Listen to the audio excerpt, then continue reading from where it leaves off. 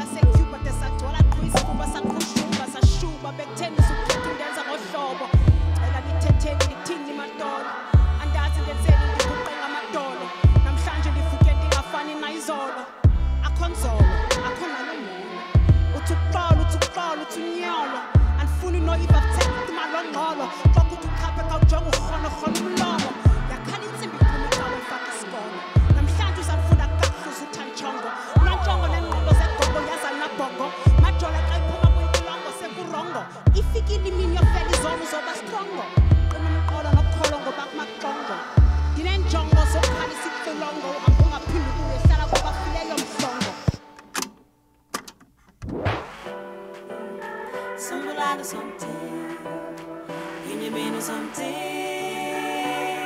ah.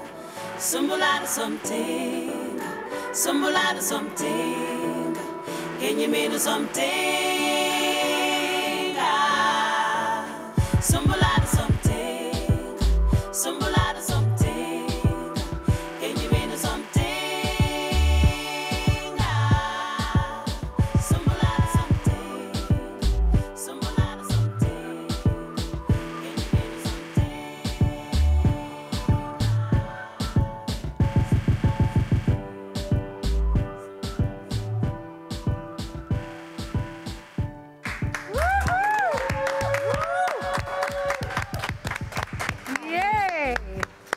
Wozohlala apha siswami. You were just so beautiful. Wow, well done. You sing with so much courage and so much conviction. It's so beautiful. What was the song about? Um, it's a, it makes me emotional performing the song because I feel like in South Africa and around the world in general, women have really been going through it. Yeah. And I feel like we've placed a lot of responsibility on the men to do something about this Yeah. instead of us doing something about it ourselves. In other words, I do feel that it's time for the women to fight back. And I'm not playing nice, I mean, really fight back.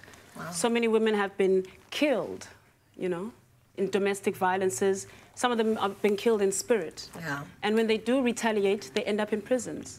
Yeah. So there's something that needs to be done uh, in this country Yeah. about that. Thank you for your performance and thank you so much for everything that you are Thank doing you for women. You're extraordinary.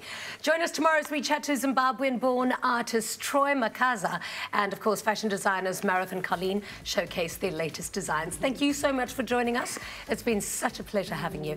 We'll see you again tomorrow. Until then, good night and God bless. Ciao. Oh, that was so beautiful.